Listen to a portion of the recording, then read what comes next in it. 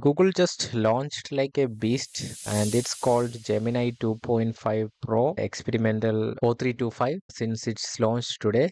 That's the date, month and date 0325. As you can see, I tested it a lot, around 46 million tokens, and it used up almost 460k context window of the 1 million.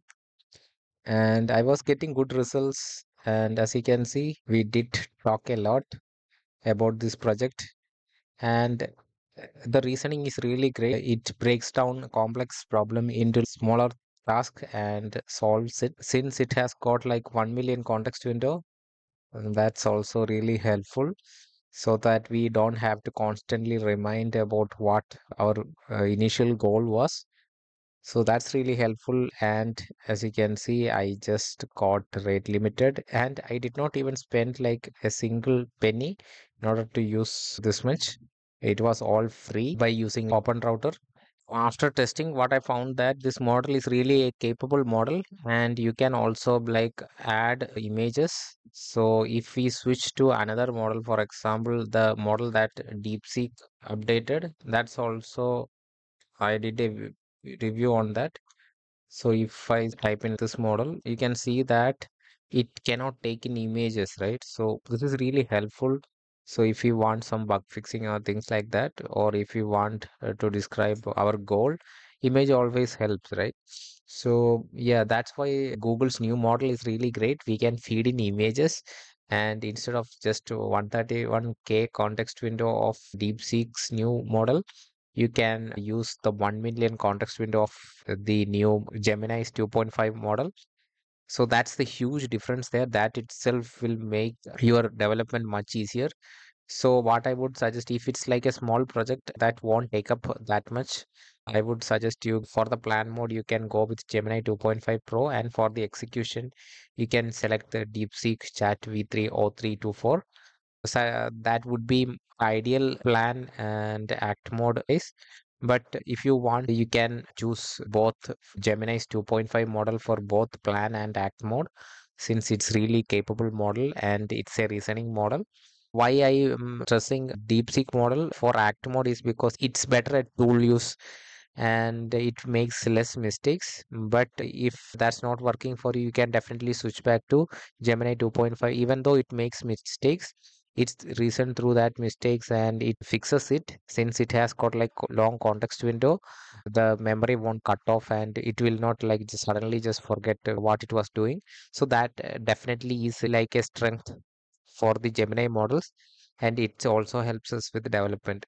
That's one way of getting this. The other way to use this for free is by going to aistudio.google.com and selecting the Pro experimental and just look at the amount of output that it can generate, right? So it started from here, the thought process. So I just asked it to create a code here, then see how long of an output that it generated. That's how big the context window actually is. That's what we actually need for some really good development hands free. Look at the amount of text that it outputted. That's why I feel like this is one of the best model for coding, especially when if you want to use it with Cline, you will have some superhuman abilities here. So I will definitely recommend you to test this out. This is definitely going to change coding for everyone. So as you can see, these are the benchmark scores. It's really positioned above O3 mini reasoning high and it's also beating like 3.7 Sonnet and Grok 3 and DeepSeek R1. So yeah, this is the model and sadly this is for advanced users and uh, it's also the top model LM Arena. So yeah, it overtook like Jeep Grok 3 and uh, 2.5 Pro experimental 0325 and it just got released as you can see just one hour before uh, it so we can find more information here on their latest blog post. And as you can see this is their uh, like most intelligent model. Today we just got the news of deepseek releasing their model. And yeah within hours apart google just dropped like a massive model. And as you can see the benchmark score here when it comes to reasoning uh, the 2.5 experimental is this is like a really good improvement right? The even the o3 mini high is only having 14 percentage and now it is having around 19 percentage right? So it's like, like a good improvement in terms of reasoning and knowledge in the test for Humanity's Last Exam.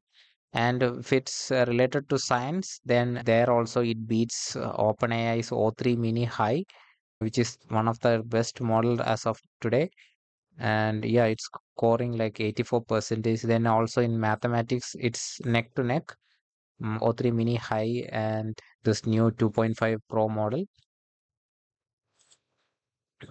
So it's also demonstrating advanced coding performance here. So if you are on the google gemini advanced plan then you can use it. So if i just go to gemini see i don't have that 2.5 flash here. If you have advanced gemini plan if you upgraded you then you will have a 2.5 here in the reasoning.